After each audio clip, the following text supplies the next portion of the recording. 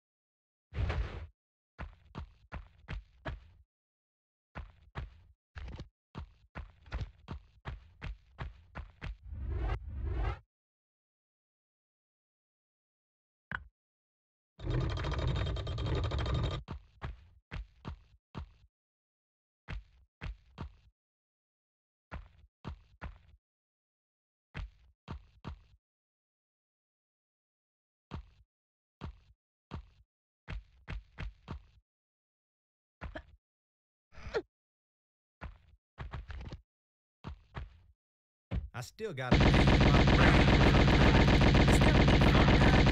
Now, like to shoot you to hell.